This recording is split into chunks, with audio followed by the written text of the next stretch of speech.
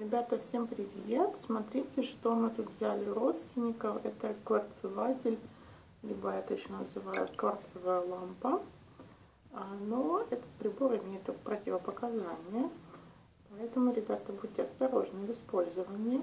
Нельзя использовать этот прибор, когда а, у вас, например, активная фаза туберкулеза, либо заболевание крови, либо заболевание 12-перстной кишки, либо язва желудка, либо тиреотоксикоз и некоторые другие.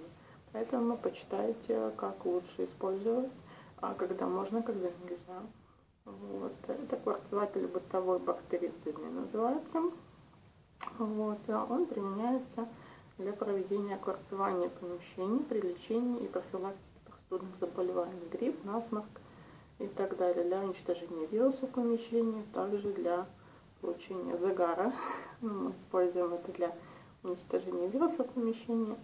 Вот, ну вот так вот. Ребят, ставьте пальчики вверх под видео, подписывайтесь на мой канал. Увидимся в следующем видео. Всем пока-пока.